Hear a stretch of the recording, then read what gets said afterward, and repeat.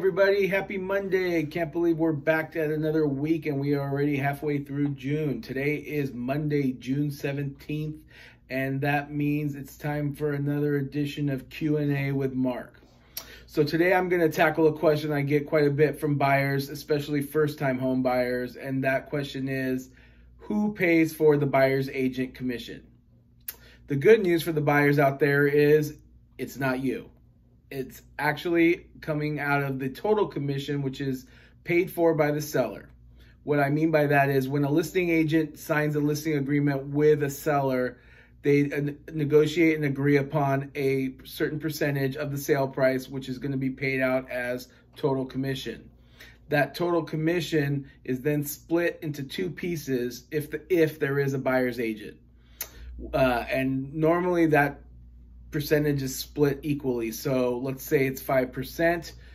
From that 5% that's paid from the seller, 2.5% will go to the listing agent, 2.5% will go to the buyer's agent. So basically, it costs you nothing to have expert representation and someone who is very knowledgeable in the home buying process can prevent you from falling into one of the many pitfalls that are out there and really negotiate and keep your best interests at, at heart you know? Um, i like to equate it to perhaps something like going to court right? Pretend like you're in a lawsuit. Would you want to share the legal counsel with the opposing party?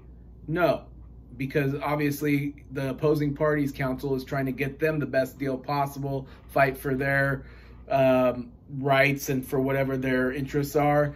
And you want someone to do the same for you. So, how can someone that's representing both parties accomplish that? What, it does happen, and it's called dual agency. But if you're a buyer out there, why wouldn't you get a buyer's agent, especially if it's free? And hopefully, that buyer's agent is me.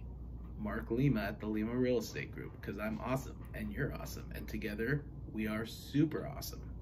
So again, uh, no buyer does not pay the commission. It's paid out of the seller. And um, that's all I got for you. So enjoy the rest of your Monday.